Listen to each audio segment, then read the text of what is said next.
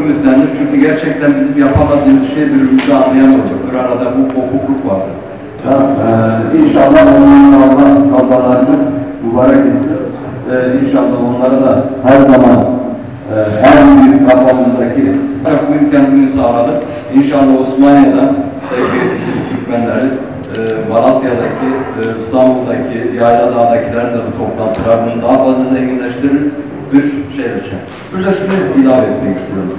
Biz e, bazen e, Türkiye Cumhuriyeti ile ilgili bazı yine aynı nasıl Suriye Türkmenlerinin meclisini kurumlarını yerle bir etmek isteyen şahıslar aynı anda da koskoca bizim ana vatanımızı Türkiye'mizi küçük düşürücü ifadelerde bulunuyor.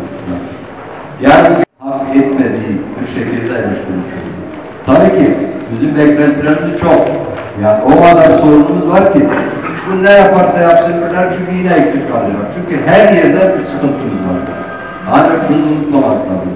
Bugün Suriye'de nasıl Kürtlerin arkasında dünya duruyorsa, nasıl Dürzilerin arkasında İngilizler durmuşlar her zaman, nasıl Nusayrilerin arkasında Fransız, Rusya, İran, Amerika durmuşsa, nasıl Hristiyanların arkasında Fransız durmuşsa, Suriye Türkmenlerin hiç kimsesi yok.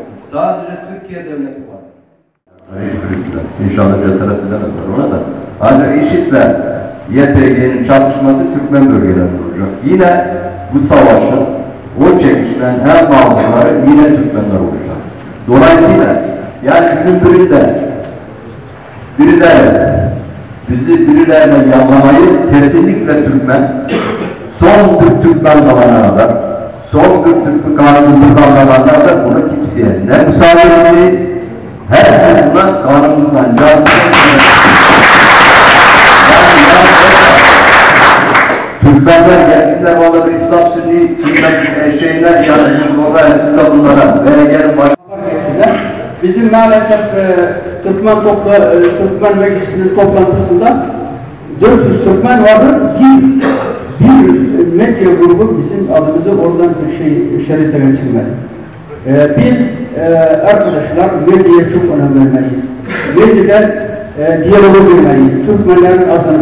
هنا عشان başlangıçta muhalefetten başladığımda onlara diyelim onlara her biriniz üç defa Türkmeniz.